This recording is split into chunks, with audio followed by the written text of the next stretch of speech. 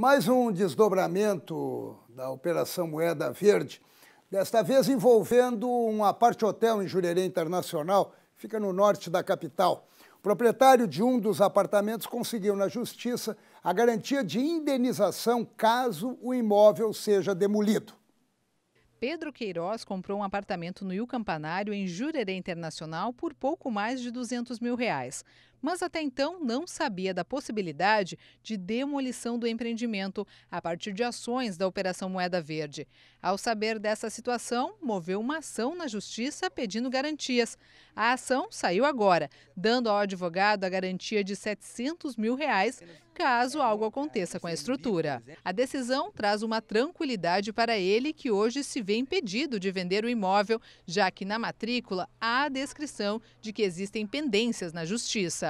Nós temos a com plena confiança na justiça que ao final vai se encontrar uma outra solução que não seja a demolição desse empreendimento. Se o pior acontecer, a justiça vai ser feita integralmente. Federica também está preocupada com a possibilidade de demolição do Campanário. A italiana comprou um apartamento em 2007, ainda na planta, também pensa em entrar na justiça para tentar amenizar os prejuízos. Vamos fazer essa criação das associações para defender o direito de todos os proprietários. O Il Campanário foi um dos imóveis condenados à demolição após a Operação Moeda Verde, onde políticos e servidores públicos foram investigados por receber propina de empresários para burlar a lei e conseguir construir em terras de proteção permanente.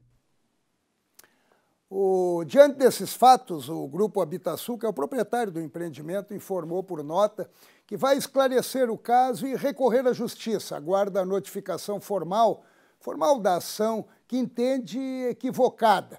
Destacou que se mostrou até surpreso com a ação que partiu de um advogado que recentemente adquiriu um imóvel no Rio Campanário e que, em respeito a todos os condôminos, serão feitos os esclarecimentos devidos com transparência e serenidade.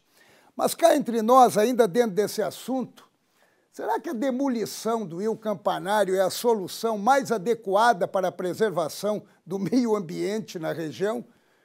Caso constatado desrespeito às leis ambientais e comprovados os benefícios tortos para que fossem burladas essas leis, a punição deve recair com peso nos autores e não punir quem acreditou e confiou no empreendimento munido de documentações e adquiriu ali unidades.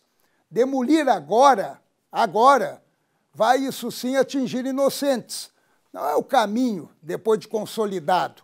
Nesse momento, a união de todos é fundamental e que compensações ambientais sejam a solução mais adequada de punição caso comprovada a culpa.